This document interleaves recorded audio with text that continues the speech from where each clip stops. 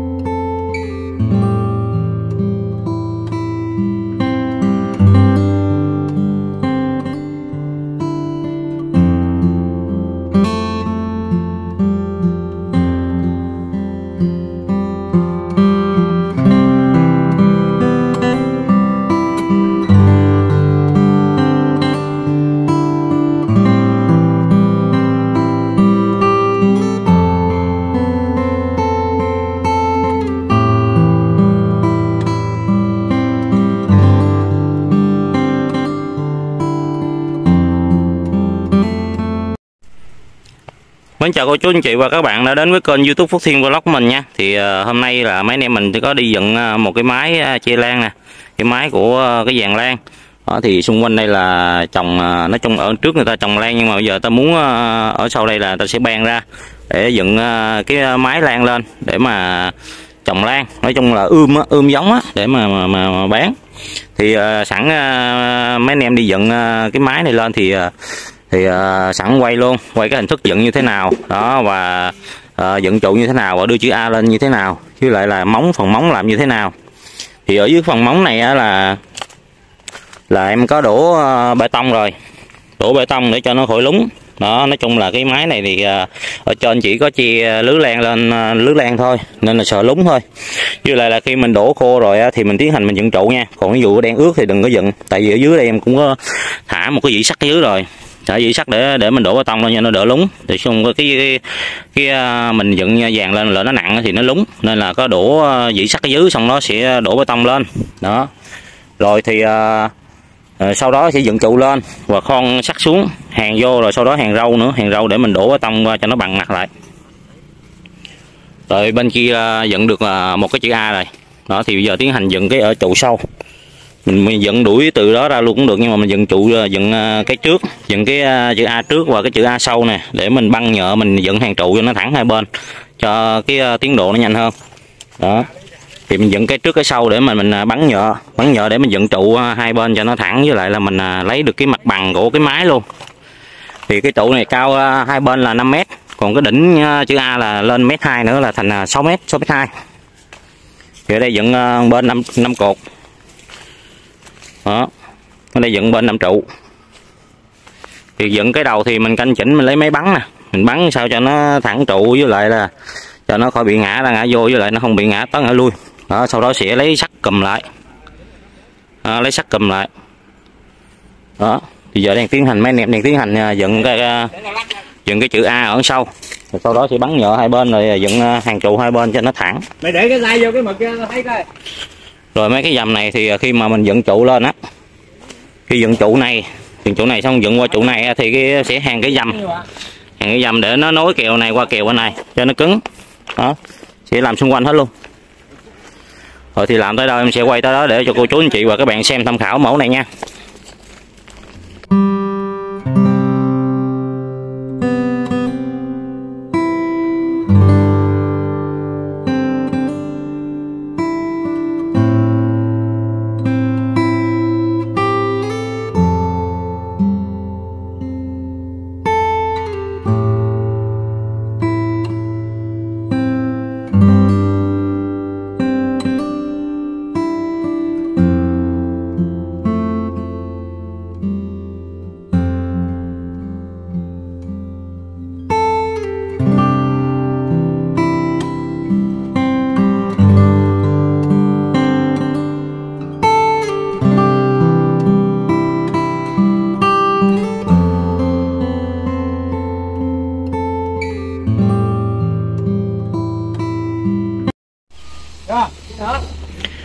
Thì à, đây nha. Thì sau khi à, mà mấy anh em mình dựng cái cái, cái à, chữ A trước nè hoặc cái chữ A sau nè thì giờ tiến hành là bắn nhựa. Đó cái cọng nhựa bạn thấy nó băng ngang qua không?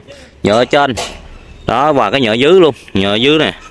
Để mình canh cái chân trụ cho nó không có bị ngã ra ngã vô còn cái nhựa trên là để mình canh cái cái cây trụ mình, đầu trên nó cũng không bị ngã ra, ngã vô như vậy nè. Đó, mục đích là nó như vậy.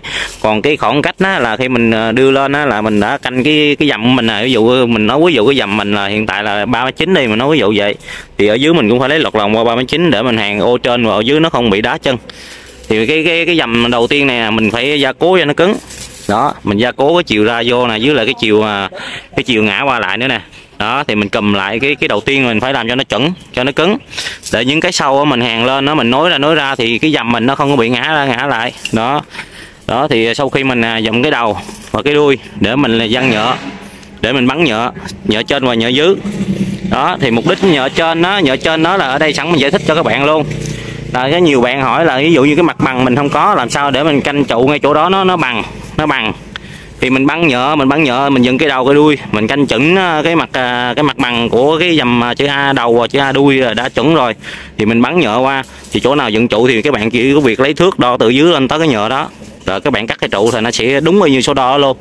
Đó, tại vì cái nền mình nó cao thấp, nên là mình phải bắn nhựa đầu để mình đo trụ. Đó, còn cái nền nó bằng thì nó dễ là cái nền nó bị cao thấp thì các bạn bắn cái nhựa trên trên cái đỉnh á. Đó, trên đỉnh, trên cái đầu nè, để mà mình đo cái trụ cho nó chính xác đó. Rồi thì sau khi mình à, gia cố cái đầu nó cứng rồi thì cái dầm mình hàng nối dầm ra mình dựng trụ lên. Sau đó mình nối dầm ra mình dựng trụ lên. Sau đó mình à, mình à, hàng dầm hai bên rồi bên này xong và bên này mình tiến hành cũng làm như vậy luôn. Bên phía bên đây nè. Ở bên phía dầm bên này mình cũng làm tương tự như bên này đó sau đó là mình chỉ có việc mình đặt cái chữ A lên thôi. Tại chữ A mình đã mổ cái ngàm sẵn rồi. Đó chữ A mình đã mổ cái ngàm để mình nhét cái, cái kèo ờ, chữ A mình vô. Đó nên là chỉ có việc mình dựng trụ mình băng dầm ờ, hai bên ra. Rồi sau đó mình đặt chữ A lên. Đó mình đặt chữ A lên như trong ờ, video mình đang quay nè. Đó mình đặt chữ A lên vậy là là nó sẽ thẳng thớm và nó sẽ không có bị túm đầu đó, tại vì phủ bì của mình là 6 mét thì dưới chân mình cũng đã canh 6 mét rồi. Chỉ việc mình đặt chữ A lên là nó sẽ thẳng thôi. Đó. Rồi, quan trọng là khi mà các bạn dựng trụ thì phải có cái máy bắn tia laser nha. Nó máy bắn nè. Để mà mình bắn trụ cho nó thẳng thớm với lại mình canh được cái mặt bằng. Đó. Thì những cái lỗ này mình đã có đổ bê tông hết rồi nha. Bò di sắt đổ bê tông. Đó, rồi còn cái à, cái à, chân trụ là mình canh cho thẳng thì mình phải bắn nhựa vậy đó. Nó bắn như nhựa vậy nè. Để cái trụ mình nó không ngã ra, ngã vô và quay ờ, cái cái nhựa cho các bạn xem.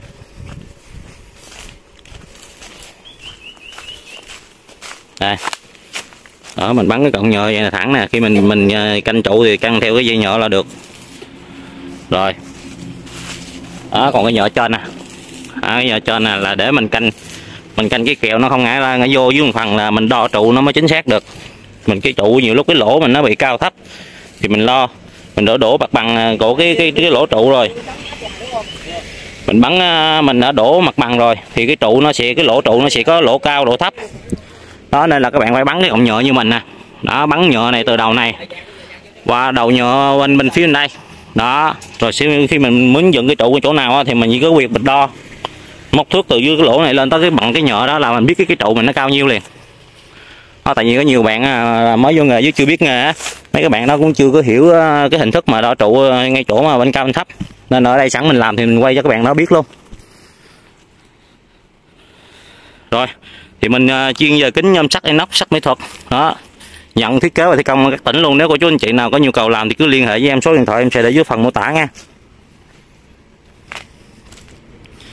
Rồi, tỉnh nào em cũng làm hết. Chỉ có nước ngồi là em không làm ha. Nước ngồi xa quá. Thì à, ở đây là sử dụng là kèo chứ ai em sử dụng là 36 còn à, trụ là đúng là làm dung 10 đó dung 10 nhưng mà bây giờ gia chủ ờ, đổi lại là làm à, là 7 7 75 trụ 75 vuông. Đó còn à, mấy cái dầm băng á là em sử dụng là 48 đó dầm băng như vậy nè. Băng để liên kết à, máy lại. Rồi thì uh, clip này uh, khi mà làm hoàn thiện xong em sẽ quay một vòng nữa để cho cô chú anh chị và các bạn xem tham khảo nha thì ở trên đây sẽ dăng à, đồng tay để mà à, chia lưới lan. Đó.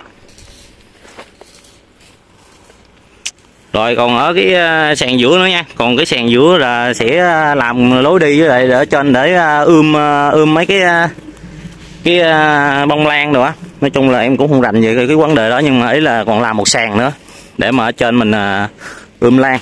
Ở, trên thì chị lưới lan còn dưới đây cũng cũng trồng lan ở dưới nữa. Nói chung là nó nó hai thớt á rồi khi nào em làm xong ờ, hoàn thiện thành phẩm rồi em sẽ quay vòng nữa cho cô chú anh chị và các bạn xem tham khảo nha.